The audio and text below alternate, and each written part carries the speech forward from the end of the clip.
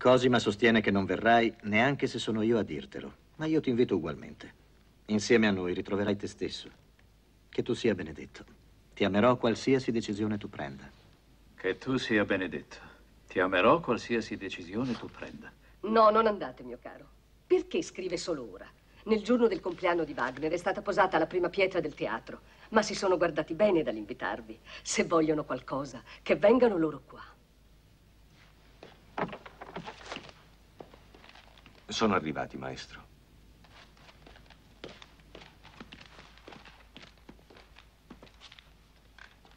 Cosima.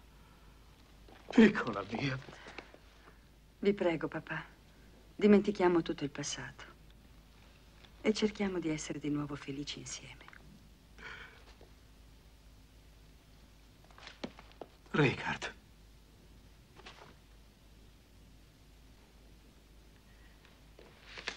Questo è il vestibolo. Uh-huh. E questa qui è la platea. Sì. Qui invece c'è la fossa dell'orchestra, è situata in basso, più in basso del solito. Così, in Ma questo dimmi, modo... questo non pub- disturba l'acustica? No, è proprio il contrario, l'acustica è buona. Il pubblico non potrà vedere l'orchestra, solo lo spettacolo. E avete già provato? Sì, Ferenz. Sarà una delle meraviglie del mondo, il mio teatro tedesco. È molto sobrio. Sì, solo il vestibolo sarà un po' più ornato. Capisco, è interessante. Ecco, questa è la piazza che vi dicevo, maestro, dove c'è il mercato del pesce. In quel palazzo sorgerà l'accademia. Il vostro desiderio si è avverato. L'accademia musicale ungherese ci sarà. Per ora è ancora in funzione la scuola di scherma di Friedrich. Ma si trasferiranno presto. Trefor, il ministro, ha affittato l'intero palazzo per l'accademia.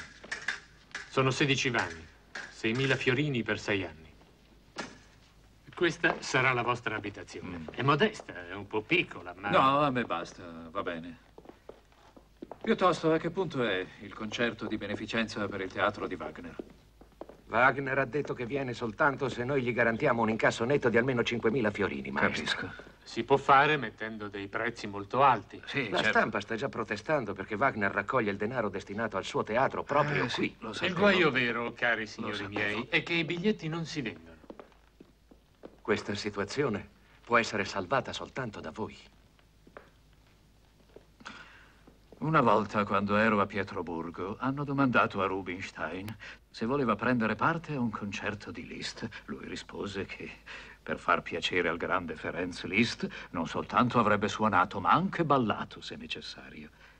Io faccio la stessa cosa con Wagner. O forse ancora di più. Ecco, mia cara, Maestro Wagner, noi abbiamo pensato di organizzare la serata in questo modo. Nella seconda parte del concerto musica wagneriana, nella prima parte Liszt, le campane di Strasburgo. Beh, per quanto i wagneriani di Pest, tra i quali conto anche me stesso, riterrebbero più opportuno un programma esclusivamente di Wagner per sostenere il teatro di Bayeux. Va bene. Per quanto riguarda la mia cantata, la ritiro volentieri. Niente affatto, non se ne parla. Franz, ma non lo penserai seriamente? spero. Ma non lo so, Richard. Siamo tutti molto stanchi. Certo. È stato il viaggio e poi questa notte in albergo non siamo riusciti a dormire molto. Oh, mi occuperò oggi stesso di un'altra sistemazione, signora Wagner. Sono tranquillo, Richard. In questo modo riuscirai ad avere un incasso netto di 5.000 fiorini. Mm, È una goccia in mezzo al mare. La costruzione costa più di quanto credevo. Solo un miracolo può salvarmi. E questo miracolo sarai tu.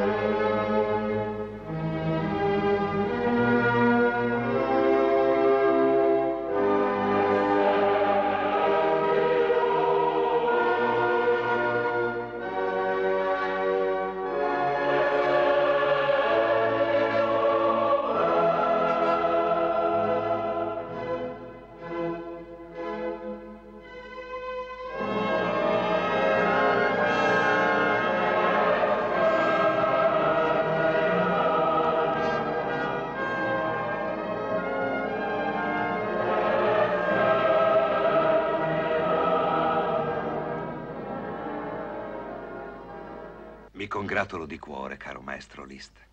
Il successo del concerto wagneriano è il vostro trionfo. Io vi ringrazio molto, eccellenza, ma eh, con il vostro permesso vorrei tornare al nostro argomento iniziale.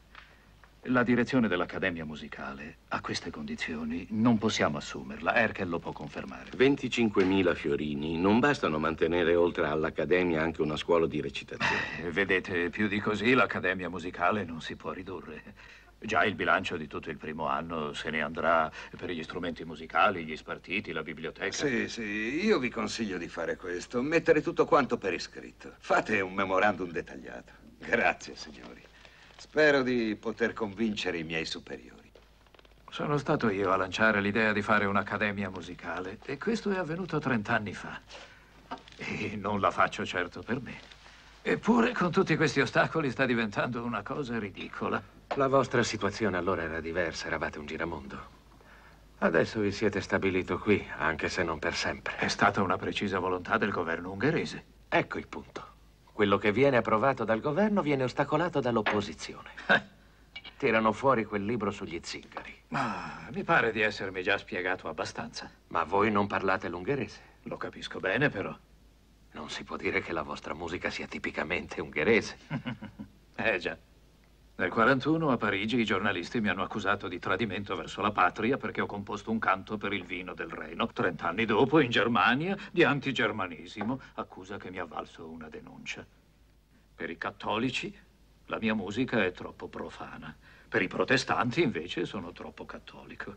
Per i conservatori io sono un rivoluzionario. Per i radicali sono invece un falso giacobino. Per gli austriaci scrivo musica zigana e per gli ungheresi la mia è una musica straniera. Alla salute.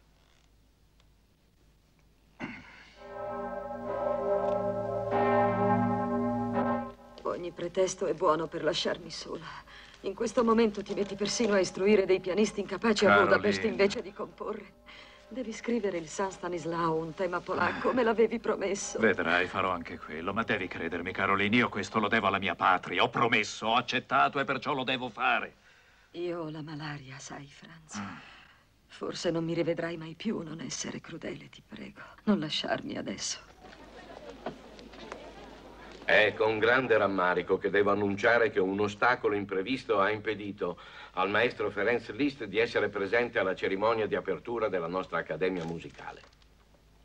Ma abbiamo la sua assicurazione per iscritto che entro breve tempo, come suo preciso e fondamentale dovere, verrà qui ad occupare il posto che gli compete e, per citare le sue stesse parole, a prendere parte donando le sue migliori energie alla costruzione e all'organizzazione della nostra opera.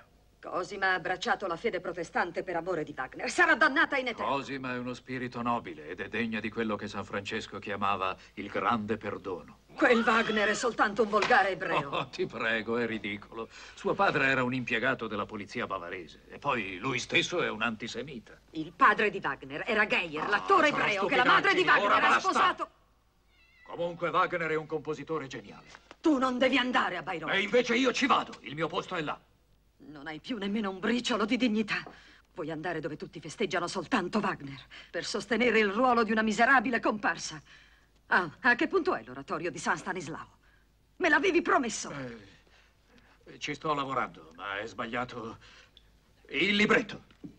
Tutte scuse. È che non riesci più a comporre. Va pure in pellegrinaggio a Bayreuth a trovare l'ispirazione nella musica di Wagner. Ti ringrazio.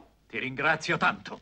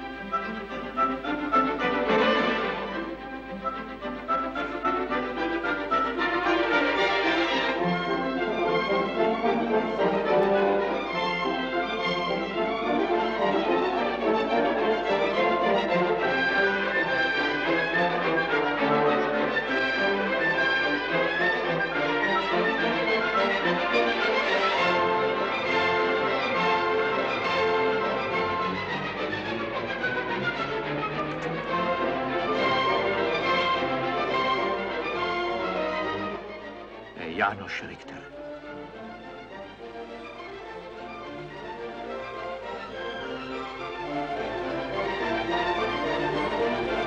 Vedi, quello è Ludwig di Baviera, mio protettore ed amico.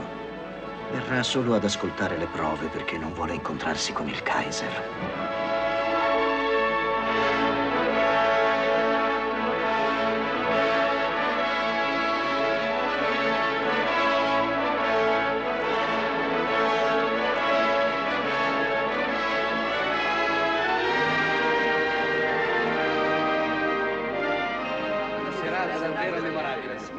to the kitchen. Davvero emozionante. Sono rimasto veramente. Eravate allo spettacolo? Sì. Voi amatelo? Certo, maestro. E voi? Moltissimo. Anche voi Anche l'amate? a me. Allora la mia musica è universale. Complimenti vivissimi, maestro. Grazie. Grazie, grazie. C'è qualcosa di magico. È una musica che affascina, come tutta la musica di Wagner, del resto. Mio caro signore, devo dire che quello che sta succedendo questa sera in teatro sembra un miracolo. Non ho mai visto tanta gente così. Vorrei chiedervi che quando riferirete di questa serata a Sua Altezza, facciate presente al nostro sovrano che Franz Liszt si rammaricherà per sempre che questo trionfo non sia toccato anche al teatro di Weimar. Avete visto di cosa siamo capaci. Dunque, adesso, cari signori, toccherà a voi continuare. E se lo vorrete veramente, d'ora in poi sarà questa l'arte. Certo non intendo dire che fino adesso non ci siano state forme d'arte, non è questo. Ma è che a noi tedeschi mancava una vera arte nazionale. Bravo, bravo. Come l'umanità si è inchinata di fronte a Dante, a Shakespeare, a Michelangelo e a Beethoven, così mi inchino io di fronte al genio del grande maestro Richard Wagner.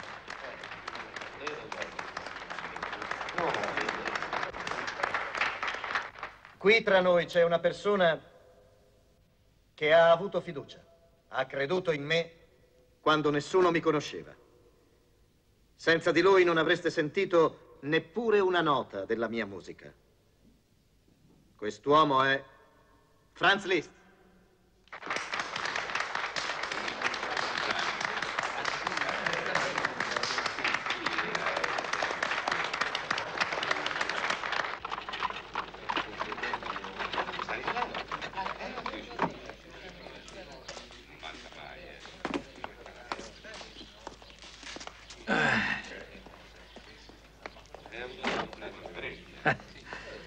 Eccoci di nuovo a casa nostra.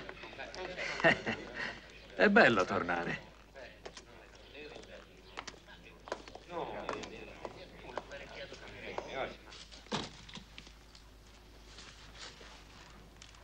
Eh sì.